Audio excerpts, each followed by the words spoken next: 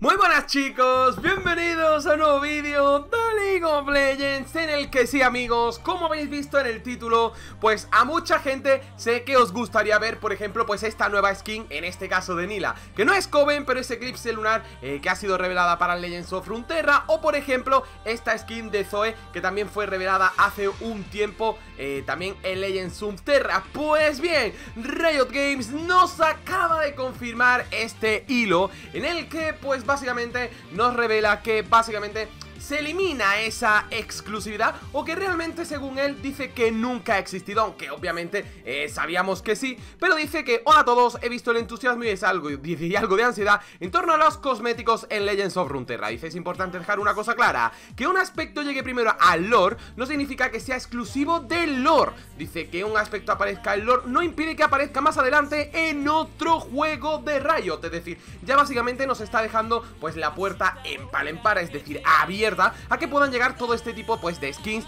eh, como esta que acaba de ser revelada o antiguamente la de Zoe, también está por ahí la de Yasuo Rompemundos y demás que pudiesen llegar a League of Legends. De hecho, eh, nos dice, dice, los aspectos de generalmente se desarrollan de forma independiente. Dice, para cada juego, dice, varios horarios. Dice, si bien tenemos momentos entre marcas, Star Guardian y Soul Fighter nos lo ponen por ejemplo, dice, a menudo se crean otros momentos de aspectos para servir a cada juego y su audiencia en ese momento.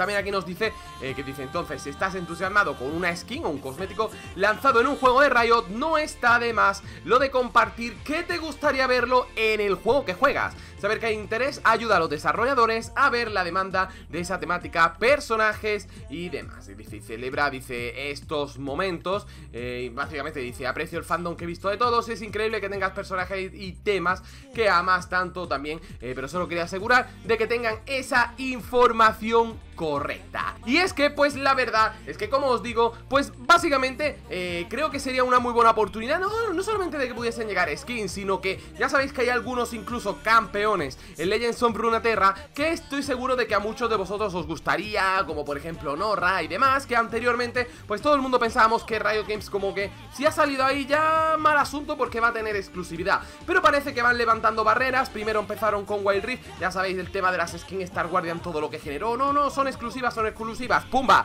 eliminado, y ahora lo estamos viendo también con Legends of Runeterra, eh, pues que la verdad es que tienen unos artes brutales, están currándoselo mucho en el tema visual y sacan unas cosas brutales, y oye, pues es una pedazo de idea para que podamos hacernos a la idea de cómo podrían llegar estas skins a League of Legends. Así que sin más chicos, como dice el propio Rioter, comentarme en los comentarios qué skin os gustaría de Legends of Runeterra o de otro juego que llegasen a League of Legends. Así que sin más, un super saludo y nos vemos en el siguiente vídeo ¡Adiós!